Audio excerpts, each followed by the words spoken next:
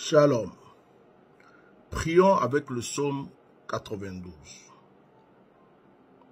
Il est beau de louer l'Éternel et de célébrer ton nom, ô Très-Haut, d'annoncer le matin ta bonté et ta fidélité pendant la nuit.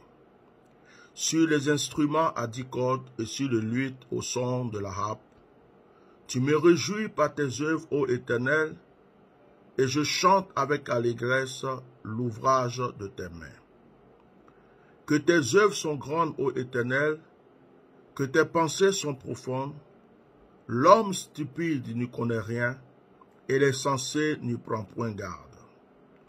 Si les méchants croissent comme l'herbe, si tous ceux qui font le mal fleurissent, c'est pour être anéantis à jamais.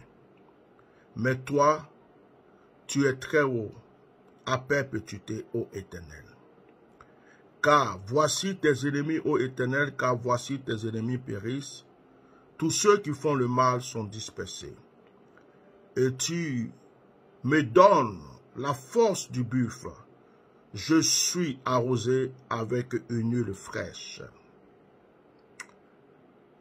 Mon œil se plaît à contempler mes ennemis et mon oreille à entendre mes méchants adversaires. Le, les justes croissent comme le palmier, ils s'élèvent comme le cèdre du Liban. Plantés dans la maison de l'Éternel, ils prospèrent dans les pavis de notre Dieu.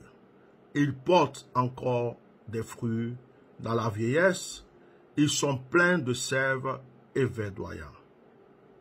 Pour faire connaître que l'Éternel est juste, il est mon rocher, il n'y a point en lui d'iniquité. Que Dieu vous bénisse. Ce psaume est un psaume de prospérité. C'est un psaume de prospérité. Alors c'est un psaume quand tu veux que Dieu t'élève, te fasse rentrer dans la prospérité. Quand tu veux que le Seigneur t'ouvre les portes de la richesse, de l'élévation, aie l'habitude de prier avec ce psaume. C'est un psaume de percée. Voilà, que Dieu vous bénisse.